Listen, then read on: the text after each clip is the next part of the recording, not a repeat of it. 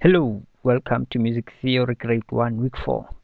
Today we're talking about names of rest notes and rest shapes. Rest shapes.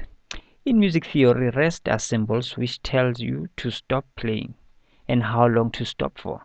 Rests come in different shapes depending on how long they last for, just like notes do. Rests take the same names as the notes of the same length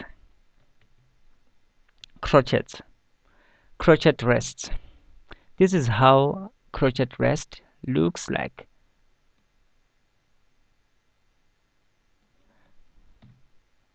Crotchet rest is a kind of a squiggle which isn't easy to draw nicely.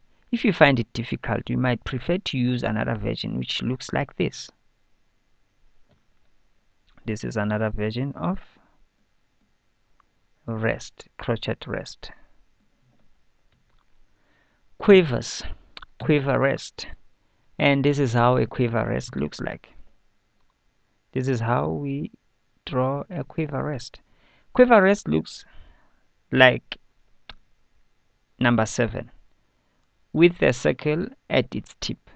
If you look again at the easy crochet rest you will notice that it is in fact a back to front quiver rest semiquavers semiquiver rest. The semiquiver rest looks a lot like a quiver rest but it's got two tails just like the semiquiver has this is how it looks like. Minims minim rest. A minim rest is this one a minim rest is a small colored-in block.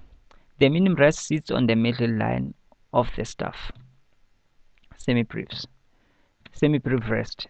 The semi-breve rest is the same size block as the minim rest, but its position is different. It hangs off the second line from the top, like this.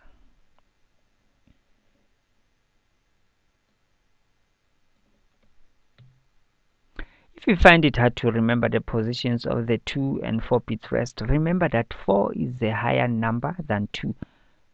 So a 4 beat rest is higher up the staff than a 2 beat rest.